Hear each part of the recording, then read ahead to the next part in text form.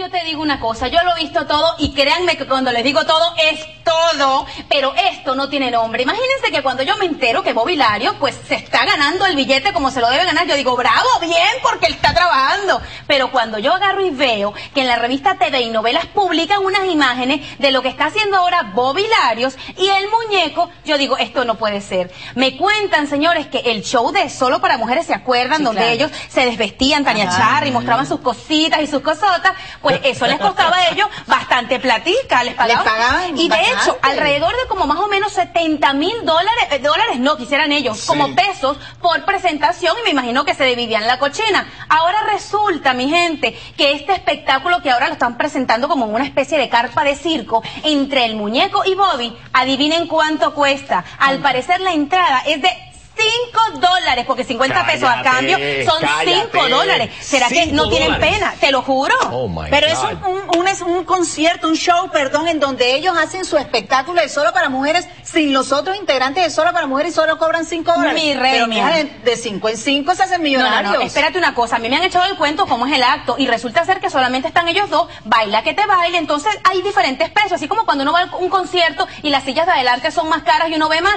esto es lo que pasa. Si tú te sientas en la tercera fila, pues estás más cerca del interior del muchacho. Si estás en la segunda, ya le puedes tocar la pierna. Y si llegas a la primera, bueno, bueno, bueno. Pero mucha experiencia. Oye, pero tú como que conoces, ¿tuviste ese, sí, eh, No, mi amor, yo es que 5 dólares, yo voy a llevar 30 para ver qué es lo que puedo ver. Porque imagínate tú. Bueno, el punto, el punto aquí es que eh, parecería que ellos están en una situación muy deplorable, que no les dan trabajo, que no saben qué hacer y parece que en medio de su desespero han hecho este show que de todas maneras no es para desmeritarlo porque los muchachos están ganando su vida de igual manera, ¿cierto?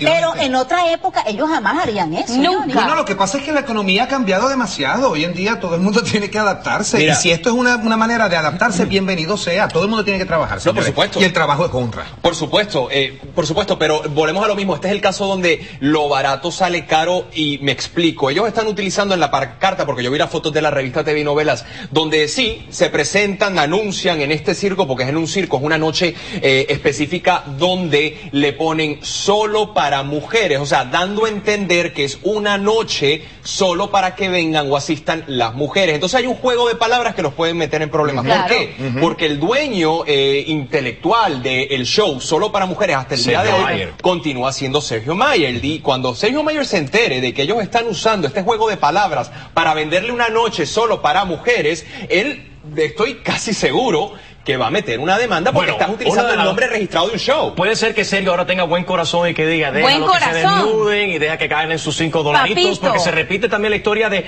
de, de, ¿cómo se llama este hombre? De Andrés García, que estábamos hablando también la semana de él también, que solamente le están pagando por su supuesto video pornográfico un dólar. En el, en el negocio, cuando hay billetes de por medio, mi amor, nadie es buena persona. Y Sergio Meyer, una pregunta, como tú le quieres decir, no. Una pregunta, el circo donde se está presentando, te lo digo literalmente, porque es un circo una carpa. El, la carpa del circo se está presentando Bobby Lario y Armando González, el muñeco Johnny. Tiene capacidad para mil personas. Con mil personas hacen billeticos. Cinco mil dolaritos. Mijo, pero no había ni la mitad. No se llenó, niño. Llegaron 50 y con suerte. Y eso que el precio era popular. Por pero favor. vamos a ver si Sergio, si Sergio deja que ellos ganen un poco de dinero y después entonces va a imponer la demanda y vamos a ver que van a tener que pagar mucho dinero por estar utilizando el nombre de la obra. Bueno.